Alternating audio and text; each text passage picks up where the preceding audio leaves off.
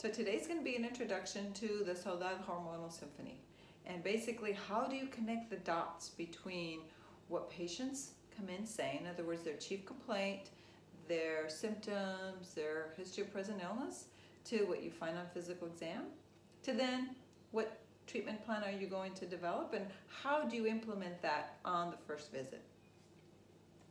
So our objectives are really to try and learn and, uh, or gain an understanding of what's going on with the history and physical or, and trying to assess the hypothalamic, pituitary, adrenal, gonadal axis and how those hormones are processed because remember part of the hormonal symphony is also estrogen metabolism right? So we're going to look at what's going on in their um, communication system among all these different hormones.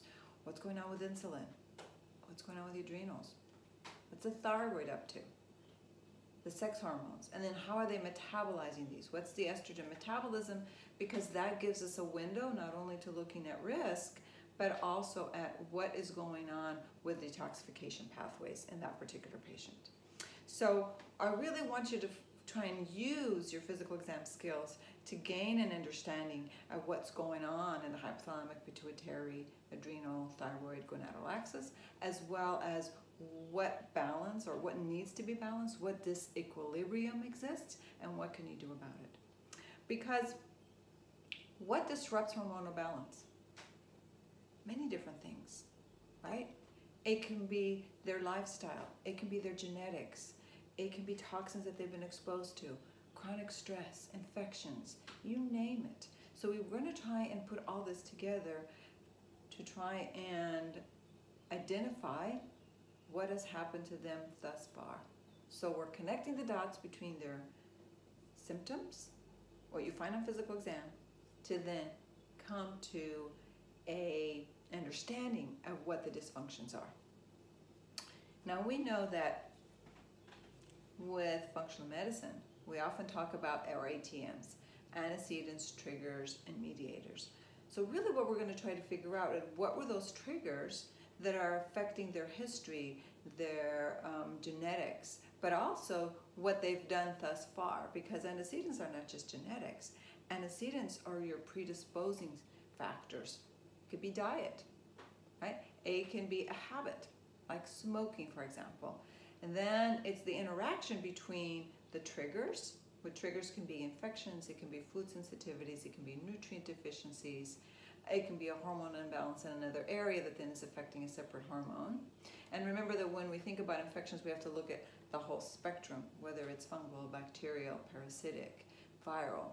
And we need to consider all of them, and even hidden infections like endodontal infections, or also reactivated ones as well, with particularly um, or with particular emphasis on uh, viruses, because that will send out these mediators that can then cause an imbalance and disease. And hopefully we can identify them early enough before it becomes a disease when it's an imbalance. Now, anytime you think of a hormonal imbalance, I want you to start thinking of how did this person develop it? And I want you to consider at the top of the list, food allergies, food sensitivities, reactions to what we are ingesting, dysbiosis, change in the gut microbiota, leaky gut, for example. But also, what was added to our food? What are some of the additives or excesses that may be there? But also consider digestive insufficiencies, problems in not just stomach acid, pancreatic function, but also in the biliary tree. And then we want to consider oxidative stress and mitochondrial dysfunction. But in many cases, we may need to look a little further when we think of mitochondrial dysfunction and oxidative stress because there may be another underlying cause. So you have to sort of connect the dots between what the patient has complained about, what you've obtained with your history, as well as what you find on physical exam. But then we want to consider toxins. Uh, but the fact that maybe obesity in this particular patient is a main trigger.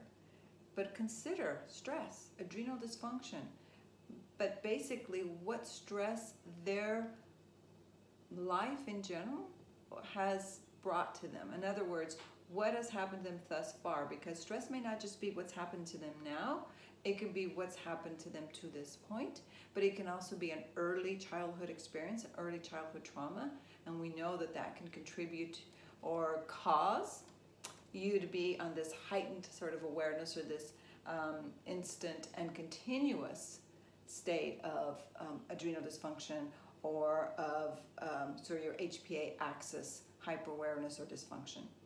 But also consider some of your lifestyle factors like sleep and lack thereof. So lack of sleep could be a major one. Deficiencies or nutrient excesses, but don't forget about prescription drugs and particularly prescription drugs that they've been on previously and may not be on currently, such as statins, for example, and the risk of diabetes and insulin resistance. But you can consider other drugs like your PPIs, your proton pump inhibitors, and the fact that it predisposes someone to have a low stomach acid and the inability to then process their food and therefore absorb it. And you want to consider your genetic predispositions too, but consider the fact that they may have more than one cause. So where do you start with history? A very comprehensive history. You're going to ask what has happened to them thus far, all the way from childhood, and if you can even obtain a prenatal history, it is of utmost importance. What was their mother under, uh, or what stressors was she under while she was carrying him or her?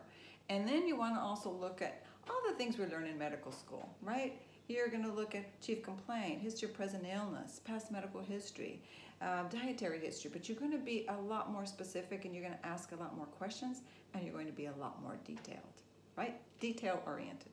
So you're also going to ask about supplements, not just what they're on now, but what they were on before, their lifestyle, their social history, and their exercise history. And then you're going to do a very thorough head to toe physical exam, and you're going to decide on what laboratory evaluations you're going to obtain, but you're going to start your, your treatment as of that day based on your subjective history as well as your physical exam.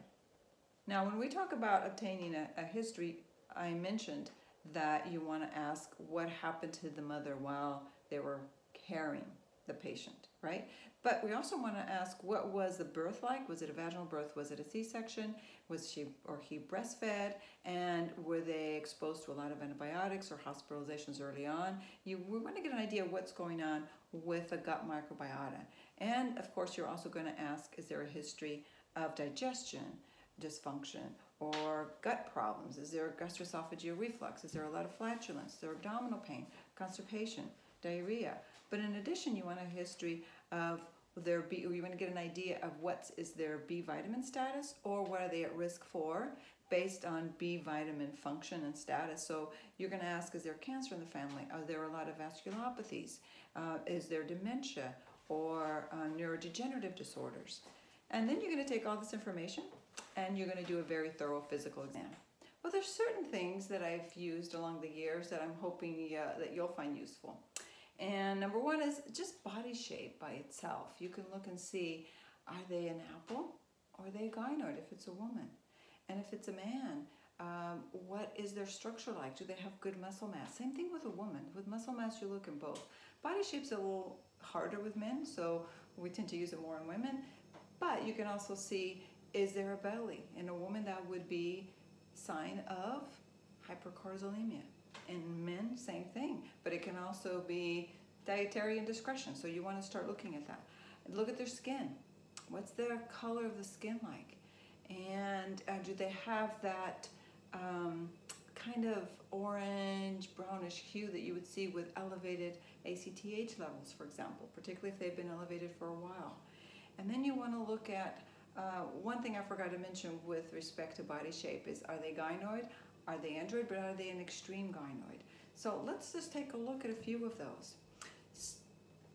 In the beginning, you can just say, is it an apple, is it a pear? Because we used to think that an, a pear was cardioprotective, and now we know, well, but there's other things that come up with respect to the risks um, in a woman who's more like a pear. If they're more like an apple, so an android, you consider things like um, elevated lipocytokines, insulin resistance, and um, more of lower adiponectin levels. But remember that body shape takes you so far, but you can have someone that has a totally normal body shape and still be your, they can be the thin fat person. And I used to be one of those. So that means that on the outside they may be very thin, have a normal body shape, but yet they may have increased visceral adiposity. So some people will have it and look more like a apple, and others may also have it and be a pear and be normal weight. So you want to look at that, and this is why body composition analysis is so important, and I use bioimpedance. Uh, but you can use whatever you uh, see fit or whatever your uh, budget allows. Bioimpedance is inexpensive and it's a pretty good approximation as with as what you would get were you doing a, a body scan, so a um, DEXA, for example. So the high cortisol then is going to be the woman who uh, comes in and says, Doc, I never had a belly all my life. I've been very flat, and all of a sudden I feel like I'm wearing a tire. That's a sign of elevated cortisol level. But the high adrenaline person can be the person that, even though they're exercising a lot, they don't have a lot of muscle mass. So you look at them and they look a little bit emaciated, even though they're working out quite a bit. Your gynoid person has risks uh, more of hypothalamic pituitary adrenal gonadal dysfunction, but they can also have increased detoxification abnormalities as well as your uh, called what's called infecto obesity uh, risks and they tend to have more gastrointestinal concerns and more food sensitivities and food allergies. With respect to the gynoid, you want to look at the extreme gynoid. This would be your estrogen dominant person, the person who, even if their um, levels look normal, like let's say their estradiol levels on a laboratory exam, if they're an extreme gynoid, they're estrogen dominant and you need to figure out why. Could they be enterohepatically recirculating their hormones? Um, are they higher on estrone, for example? Um, and or are they also having more of a um, semi-conjugated estrone, for example, that could be. So they could have more of the 4-hydroxyestrone or the 16-hydroxyestrone and be estrogen dominant. Now, remember that someone can be estrogen dominant because they're insulin resistant, because insulin resistance will lead to increased insulin secretion, which will act on the hepatocytes to decrease your sex hormone binding globulin. But at the same time, it upregulates 1720 lyase, and so the total end result is that you end up with higher levels of testosterone. Testosterone preferentially binds to sex hormone binding globulin, right, irreversibly, but because you have less sex hormone binding globulin, you end up with more increased free estrogen. So insulin resistance can lead to estrogen dominance. And of course, if someone's estrogen dominant, you want to make sure you're looking at estrogen metabolism, but really we want to look at that with everyone and realize that there are single nucleotide polymorphisms in that area, which we will discuss in the fifth module um, when we're talking about estrogen metabolism. Now, let's take a step back and look at what other signs can you look for in physical exam. So I'm particularly talking about what do you see in the uh, skin and the oral mucosa. Let's just thank my good friend, Dr. Michael Stone, for the next few slides, which he developed. And he's amazing uh, in general, but particularly amazing at physical exam skills and trying to figure out what's the underlying pathology, what's the underlying dysfunction. So he focuses a lot on the mouth. Uh, but he also says that we should have eyes to see and expectations to find. And I think that's really brilliant. So in addition to looking at the mouth, um, you want to look at the skin. So mucosa, the mouth, for example, but also what's going on with the skin, the hair, the nails. Remember that your nails tell a story. And you can also do senses and nerve function, which I tend to do when someone has more of a neurological complaint, but I don't necessarily do it on everyone, just for the, uh, for the sake of time. When you look in the mouth you, and you look at the mucosa, you get an idea about their B vitamin status. And there's a lot of different B vitamins, and there's a lot of different findings you can have. So I can't remember everything, so I memorize a few, and then the rest you can just look uh, at the slide that I have there. You can laminate it, or you can make your own list. So the, what I remember is, for example, that papillary um, atrophy is consistent with riboflavin deficiency. GALT is gut-associated lymphoid tissue. So if you have a enhanced lambda fissure or an enhanced longitudinal fissure, lambda being, if you're looking at your tongue, the one that goes from the back of your mouth to the uh, front of your mouth, that is your um, longitudinal fissure. The ones that run um, opposite that, so like from ear to ear, that is your lambda fissure. So if they're enhanced, or in other words, if you can see them a lot more, they're sort of uh, stand out more, then you know that they have gut-associated lymphoid tissue that's inflamed. Now, uh, there's many other signs that you look for on the tongue and on the mucosa, and they're listed there for you.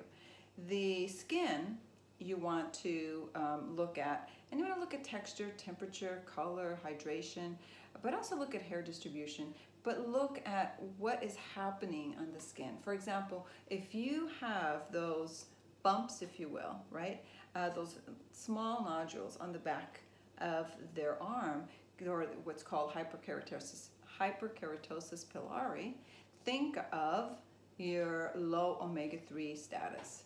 Uh, the other thing is you can look around the neck, and if you see acanthosis nigricans, which is the darkened area around the neck, that is very, very highly associated with insulin resistance.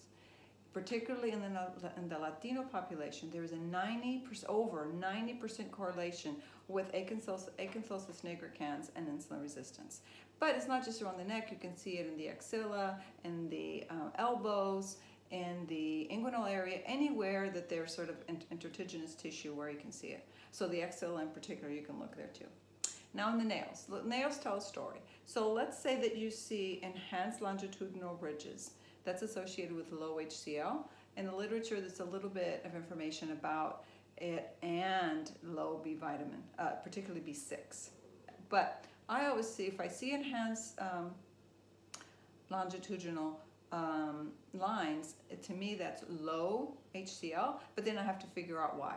Because if you have low HCl, you're not able to break down your proteins, um, and your uh, food very well, and so you, you're going to have less of keratin available for the nails as well.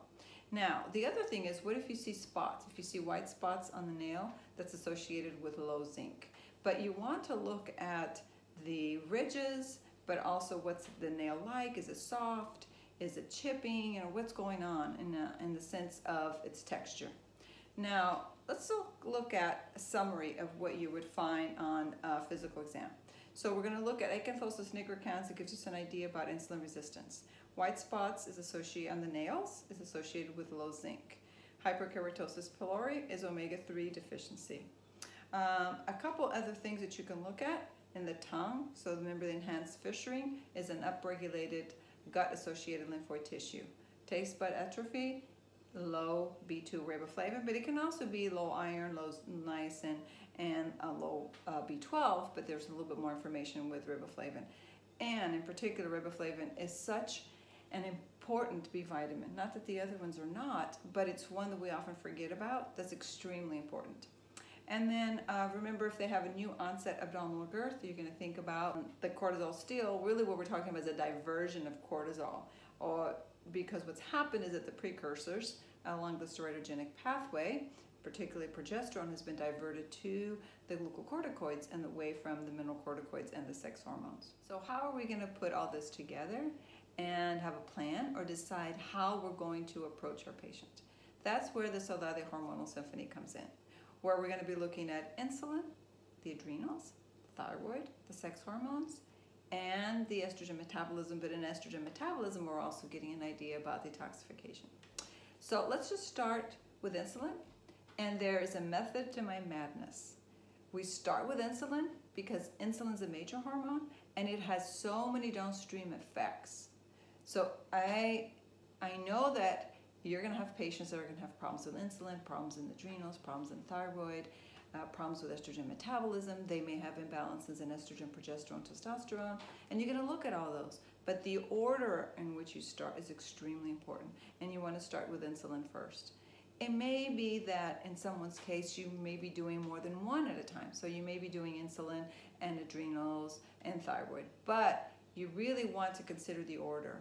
And if you haven't ordered labs yet and you're to start this protocol on the very first visit, start with insulin. Extremely important. Let's go on to adrenals.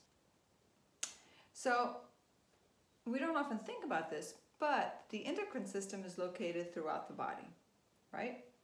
And although we're focusing on one area of the endocrine system, the adrenals, remember that, that they communicate with multiple other areas, like the hypothalamus, the pituitary, the pancreas, right? These are all parts of the endocrine system. We're just focusing on the adrenals. So let's move on to thyroid. Our next stop, so to speak, in the Saudade hormonal symphony. Let's just take an overall look because um, to me a picture is worth a thousand words. So we know that the hypothalamus releases TRH. TRH acts on the pituitary to release TSH. TSH then works on the thyroid to make T4. A little bit of T3, as I said, but only 5%. 95% um, of what's made in the thyroid is T4.